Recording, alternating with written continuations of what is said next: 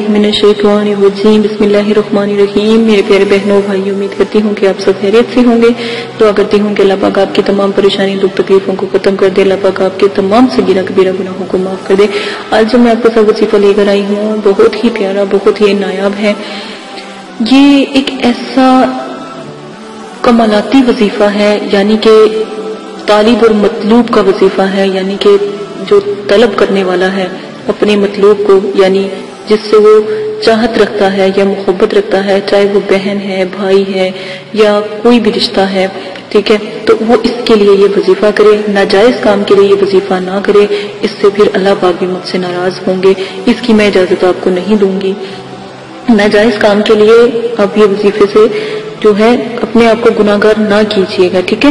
تو طریقہ اس کا یہ ہے کہ اگر آپ جیسے میاں بیوی ہوتے ہیں، چلے میں آپ کو ایک مثال دیتی ہوں، جیسے میاں بیوی ہوتے ہیں، تو اگر کسی کا شوہر اس کو چھوڑ کے چلا گیا ہو، یا اس کی بیوی اس کو چھوڑ کر چلی گئی ہو، یا کہیں کوئی ایسا مطلب کہ مسئلہ پیش آ جاتا ہے کہ بیوی چلی جاتی ہے، شوہر کا کسی اور خاتون کی طرف مائل ہو رہا ہو، یا پھر بیوی ہو رہی ہو، یا پھر تو بنوز بلا کوئی بھی ایسا مسئلہ ہو، جھگڑا ہوتا ہو یا آپ چاہتے ہو کہ راتوں کو وہ گھر نہ آئے، یا مطلب کہ آپ کا شوہر گھر نہ آتا ہو، آپ کی طرف توجہ نہ دیتا ہو، تو پھر یہ وظیفہ آپ لازمن کیجیے گا کہ یہ ایک طالب اور مطلوب کے درمیان کا جو ہے وظیفہ ہے۔ تو انشاءاللہ اتنا بقرار ہو جائے گا، اتنا دیوانہ ہو جائے گا کہ جب تک وہ آپ سے مل نہ لے، جب تک وہ آپ کو دیکھ نہ لے، اس کو سکون نہیں آئے گا۔ آپ نے یہ جو طریقہ ہے، اپنے عزیز جو ہے، اپنے بہن بھائی ہوتے ہیں یا والدین کی طرف سے بھی جو رشتے ہوتے ہیں، اپنے چچا چچی، اکثر لوگ میرے پاس آتے ہیں، کسی کی خالہ نہیں مل رہی ہوتی، کسی کا ماموں نہیں مل رہا ہوتا، تو وہ کہتے ہیں، ابھی ہمارے ماموں نہیں مل رہے، ہماری خالہ نہیں مل رہی، ہمیں اس کے لیے کوئی عمل بتائیں، پڑھائی بتائیں۔ تو یہ وظیفہ میں تب لوگوں کو دیتی ہوں، یہ بہت نایاب ہے۔ ایک دعا ہے، بسم اللہ الرحمن الرحیم، عیسی اللہ سے لے کر اجمائن تک جو ہے، آپ یہ دعا پڑھیں گے۔ ٹھیک ہے، بہت اس کا اثر ہے اس دعا کا۔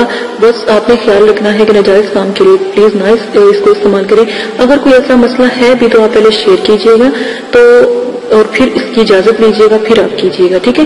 تو آپ نے کیا کرنا ہے کہ اگر آپ نے کسی کو بلانا ہے؟ یعنی میاں بیوی کی محبت، جیسے میں نے آپ کو پہلے بھی ایک خلاصہ بتایا ہے، یا میں نے پہلے بھی آپ کو ایک مثال آپ کو دی ہے، تو آپ نے کیا کرنا ہے؟ جو یہ میں نے ابھی آیات آپ کو بتائی ہے مکمل یہ تھوڑی سی بڑی ہے، تو آپ نے ہرن کی چھلی، بنساری کی دکان سے آرام سے ہرن کی چھلی مل جاتی ہے، ہرن کی چھلی، ٹھیک ہے؟ پر مشک اور زعفران اور گلاب سے دیکھیں، مشک لے لیجیے گا اور زعفران لے لیجیے گا۔ ٹھیک ہے، تھوڑا سا مشک اور زعفران لیجیے گا اور گلاب کا عرق جون سا ہے نا اتر، اس کو مکس کر کے نا، تو یہ آیات آپ نے نا جو ہے لکھ لینی ہے۔ لکھ کر آپ نے نا طالب یعنی لکھنے والا۔ طالب یعنی لکھنے والا، اپنے پاس رکھے تو انشاءاللہ جس کے لیے لکھ رہا ہے، جس مطلوب کو یعنی بلانے والے کو لکھ رہا ہے، تو وہ ایسے پاگل اور بچین ہو جائے گا، اس کا دل، اس کا دل میں گھبراہٹ ہونے لگ جائے گی اور کب کبھی ہوگی۔ جب تک وہ اس تک نہ پہنچ جائے، تو یہ دعا اس کے ساتھ مطلب کہ رہتی ہے۔ ٹھیک ہے؟ جب ہم پڑھتے ہیں یہ دعا، تو وہ دعا جب تک اثر وہ اپنا دکھاتے جب تک وہ حاضر نہ ہو جائے، تو یہ آپ لازمن کیجیے گا۔ ٹھیک ہے؟